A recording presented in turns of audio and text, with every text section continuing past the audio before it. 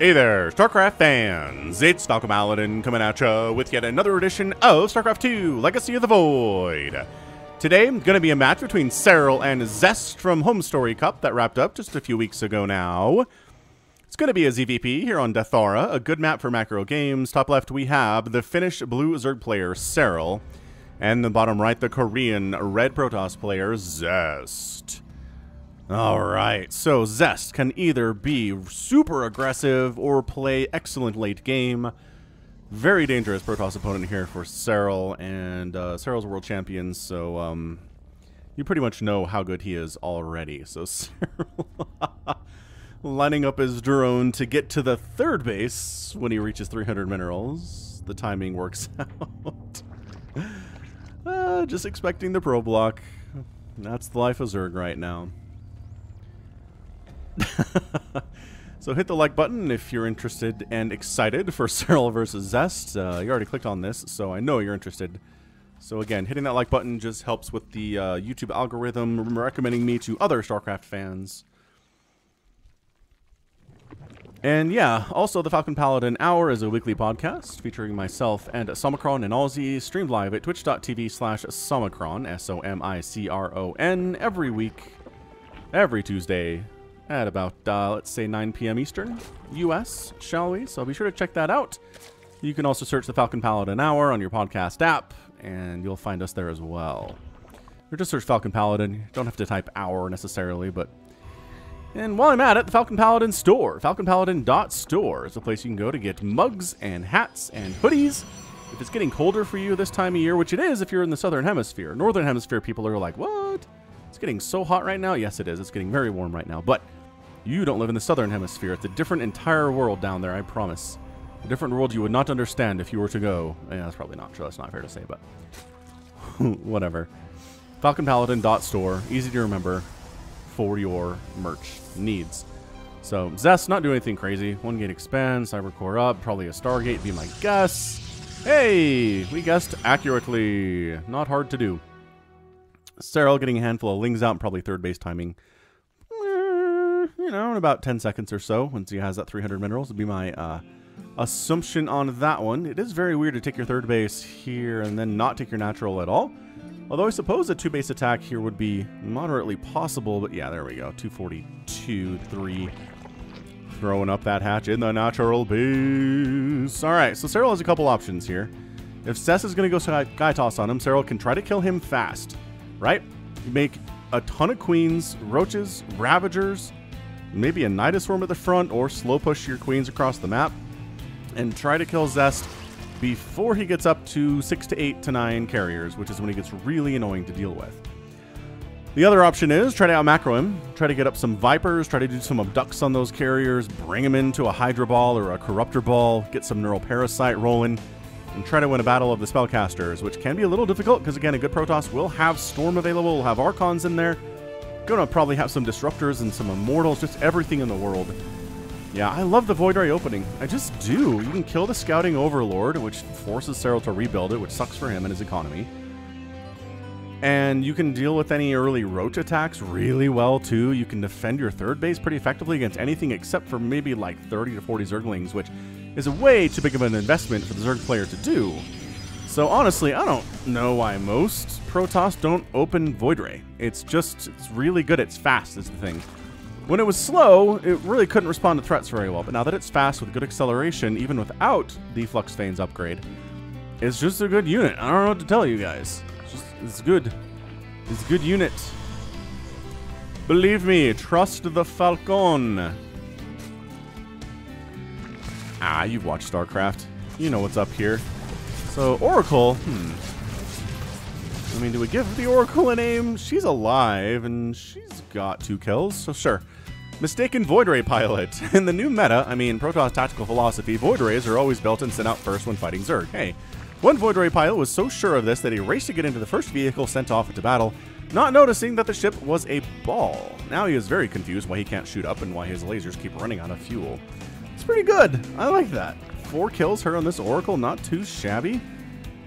The Void Ray makes it home to get more kills, already up to four total. The harassment's been pretty effective thus far.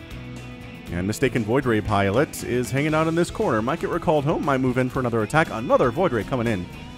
Ooh.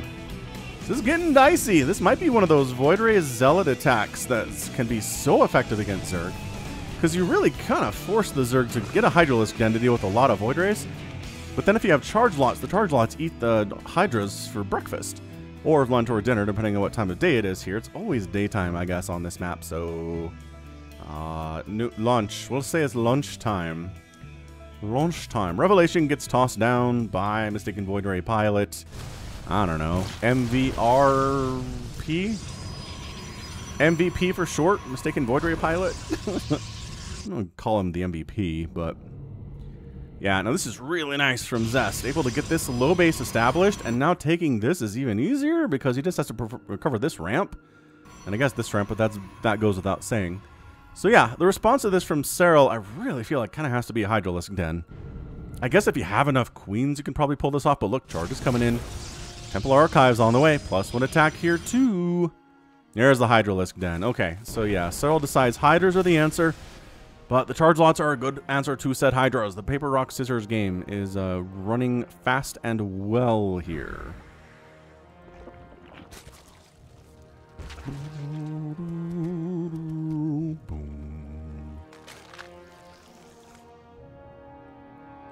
Yeah, see, there we go. Pretty easy fourth base here from Zest. He's not even worried about it.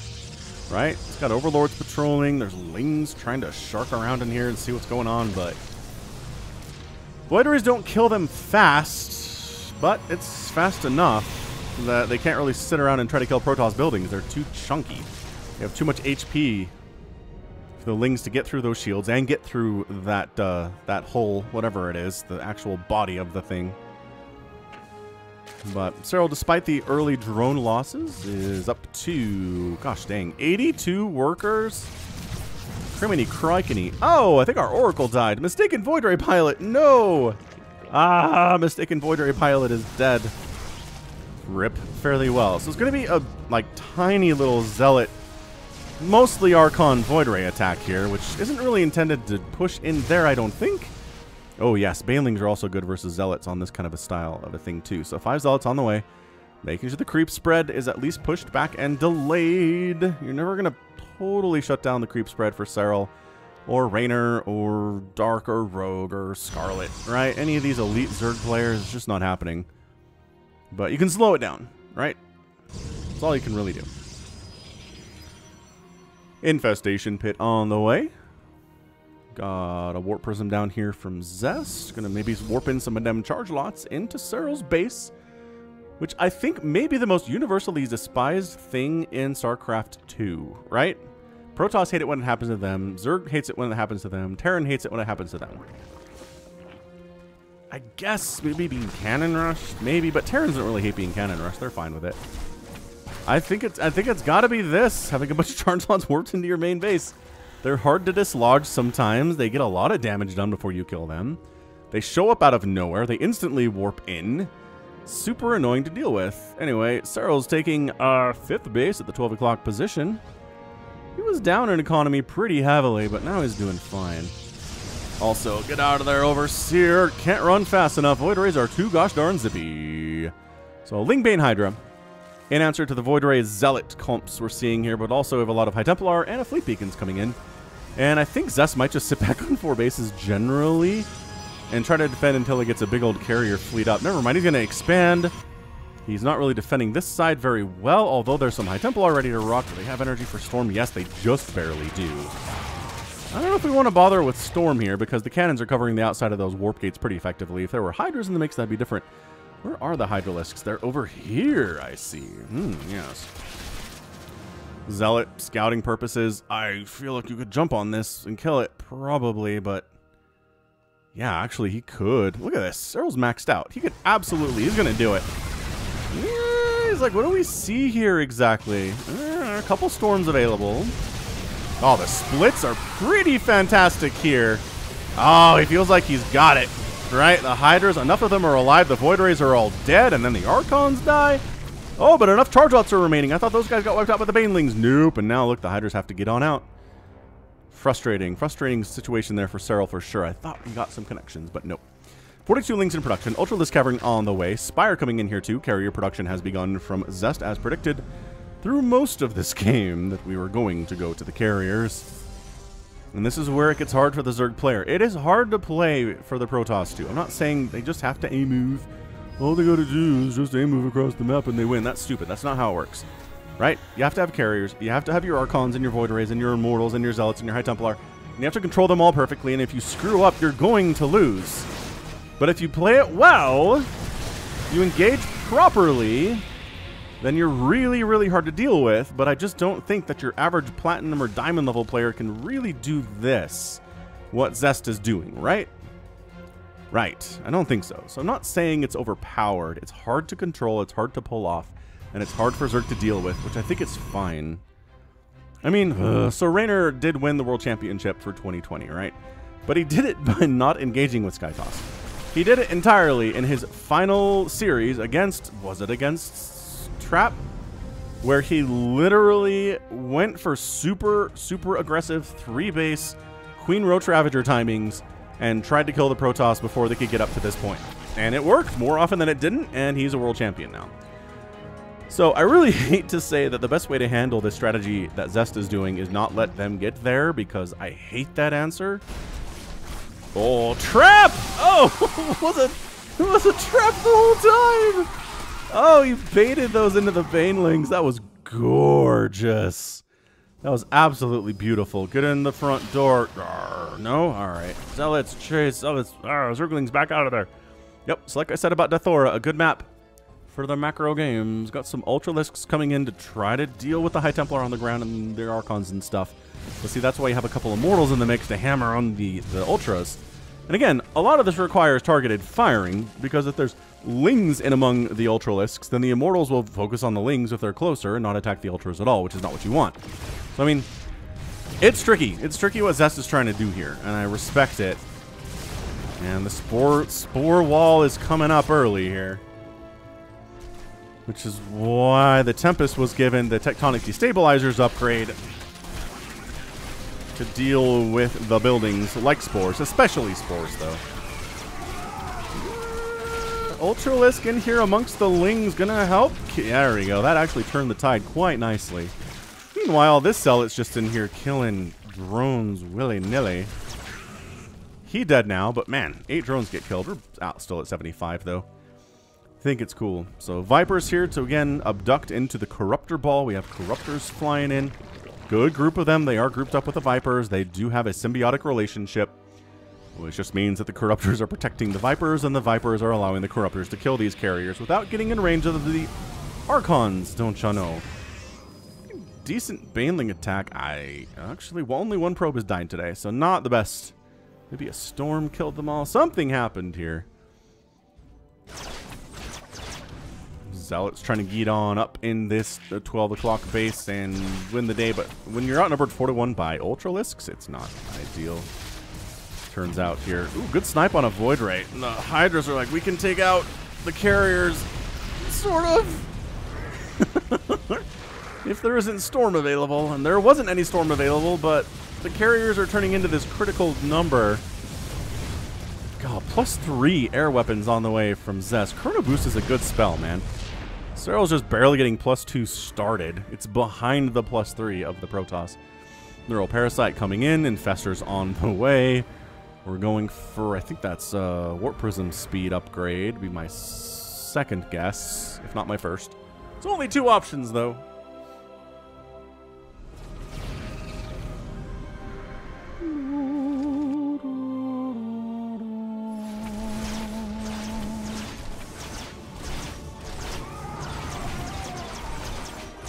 Zealots down, pushing, again, attacking into a Spore Forest when they're supporting Zerg Army there is probably the worst idea. You don't want to do it. We got a replacement Oracle, though, for Revelation purposes. Uh, that's pretty nice stuff. Zest just doing his dance, man. He is one of the more patient players you'll ever see, which, which is why, you know, when you see a game where he's super aggressive, it feels out of place because I've cast so many games of his where he's just content to sit back and make little tiny good trades over and over again. Just over and over, keeping his army alive for the most part, and then when he's kind of bled his opponent dry, he goes for the jugular, but it can be, you know, 45 minutes to an hour before he really decides and needs to commit to something, you know? Yeah, observer speed's already done. Those are zippy boys. Get out of here. Get out of here, interceptors. Probably an abduct scenario, and it is. We have enough corruptors to... Nope. Two shot. Two shot there. Got some ultras just kind of wandering down here and taking out two immortals. Very nice. Very nice. Another immortal comes in. Oh, these are really expensive units. You just be kind of wandering on in here. Oh, wow. All right, so we're committing at this point.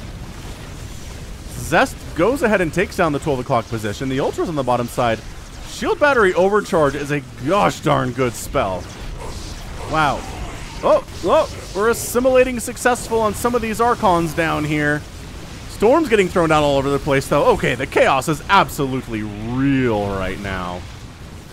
But is there enough here for Zest to continue pushing on through? It kind of feels like there is. Army supply is even, which isn't particularly great for the Zerg. Is there still still an Ultra down here, but he dead now. He gone. Uh, jeez, these Ultras. There are four, four, five, six, seven, eight Immortals down here. Ultralisks just aren't going to cut it. So Broodlord's coming in, recognizing the Void Ray count is currently nothing for Zest. So that means Corruptors are going to be amazing. Broodlords are going to be a lot better, too.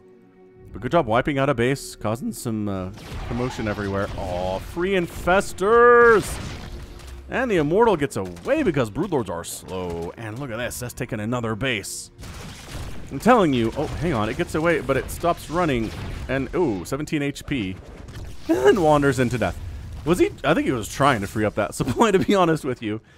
it makes sense, right? Immortals aren't going to be very good because all the Ultras are dead now, so I got to trade those out effectively and get stuff done. And Stalker group, I don't know if they're necessarily here for suicide purposes, but, um... Okay. Duck, still not enough Corruptors to one-shot a carrier, but to two-shot them is not shabby. One. Two. See?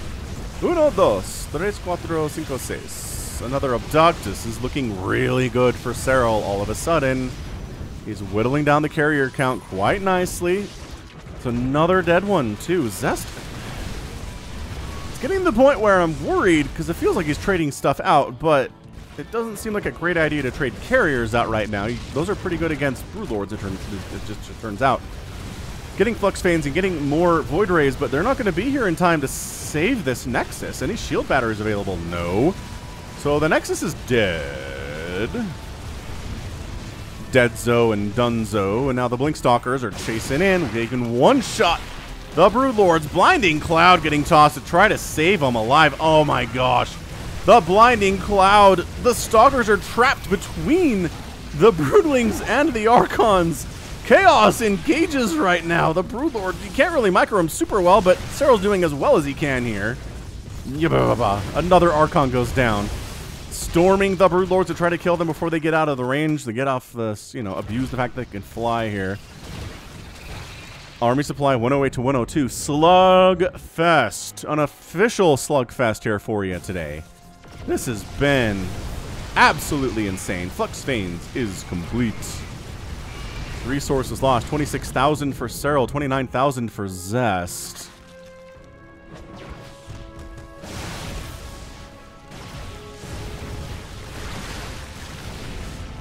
Hey, just instantly wiped out Serral's third or natural, depending on how you want to look at it. Nice blink forward to take down a Broodlord, but now you're kind of stuck at the front lines where there are Broodlords chopping on you, Broodlings in particular chomping on you. I don't know, Zest hasn't really taken a new base in a while. I guess Serral has, in fact that he's taken this one, and he has taken this one too.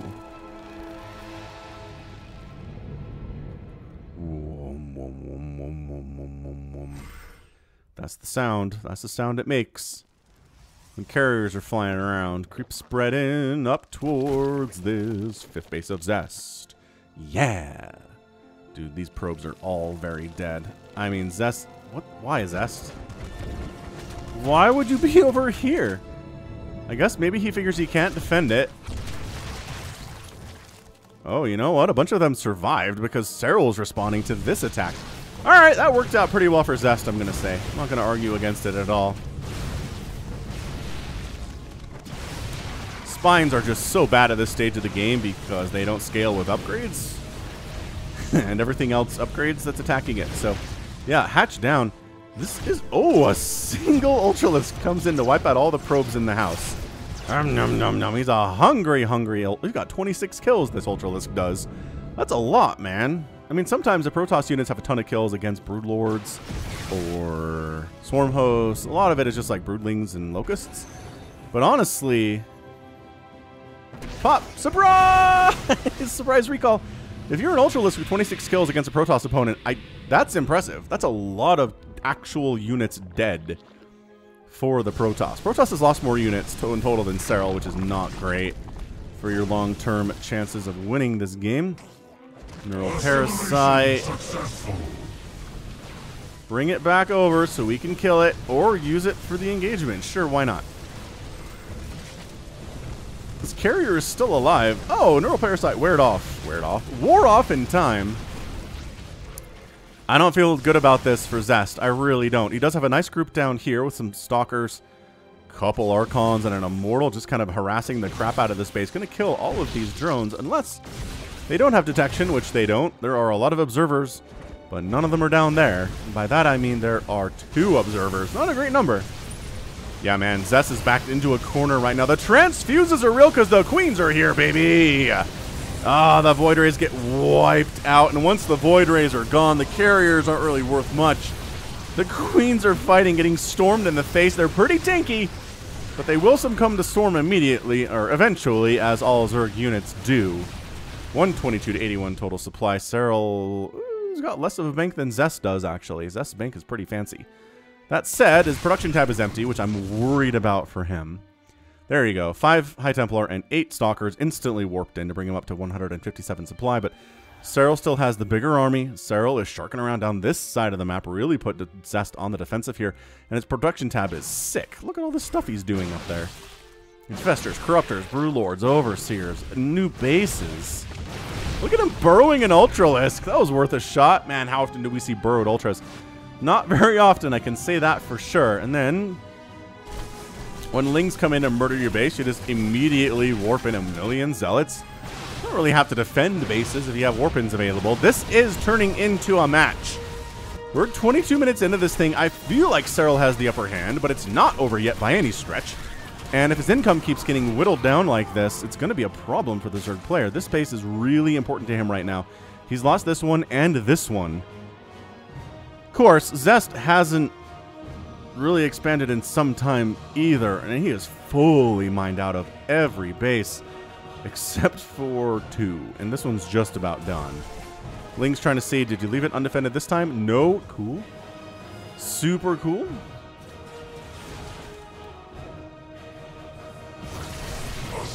Oh, Neural Parasite on the Archon to help against the Zealots is such a sick move. Oh, it forces a full recall back here.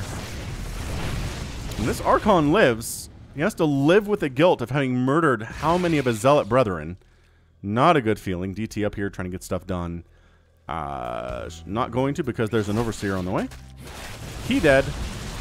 Meanwhile, Blinding Cloud, Broodlords blinking in fungal over everything. I think Zest army is just getting wiped out here. He doesn't have the army. He doesn't have the Void Rays. He doesn't have the Storm or the Blinkstalkers to deal with these Broodlords. This is his last source of income. It appears to be the last stand for Zest. And Serral. That's it, man. We're done. 181 to 117 supply. Look at the supply. As Todd would say, Zest is fighting to the better end here, but again, more carriers dying. The abducts have been sick today from Serral. I haven't seen that many feedbacks. Storm Drop takes down 16 drones, and again, the one source of income that remains largely.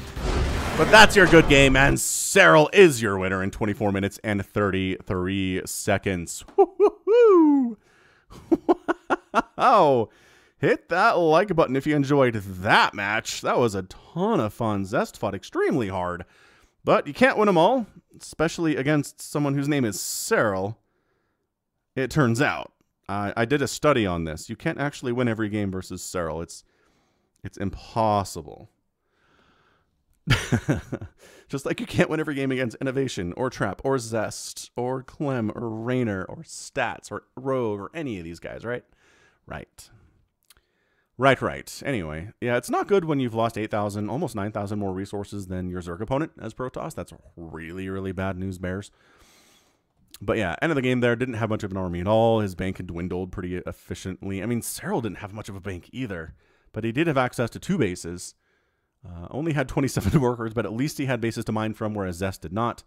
He saw the writing on the wall. And yeah, Broodlords actually being the hammer for once in a game actually getting the job done. Serral did such a good job getting rid of the Void Rays and the Stalkers.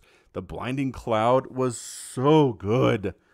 It was so good today. The Abducts, the Blinding Clouds, the Fungals, the Neural Parasites. Tons of spellcasting from Serral today. Is that same thing? Storms and feedbacks.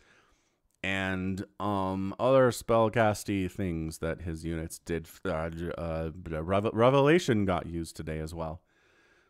So yeah, spellcaster versus spellcaster, and at the end of the day, uh, Serral just came out on top. Good pressure, right? If you end up killing three nexuses in 24 minutes, that's pretty good. He lost five hatches, but he did enough economic damage on the other side to make it worth it. And then yeah, nine carriers went down, none left at the end of the game. Zest did not go heavy on the carriers because you recognize the abduct corruptor potential. But they did pretty well for him until they went down. 15 Archons died as well. 10 Ultralisks died. None left at the end of the game. Nine Queens, two fell bravely defending against the Protoss Onslaught. Fun. All right, so that right there uh, is going to be it for me. This has been Falcon Paladin coming at you with yet another edition of StarCraft 2 Legacy of the Void. Go ahead, hit that like button, hit that subscribe if you have if like what you saw and what you heard today. If you haven't already, you can also catch me on Twitter, Facebook, Patreon, and Twitch, all at slash Falcon Paladin. And until next time, as always, thank you so much for watching. You take care of yourself.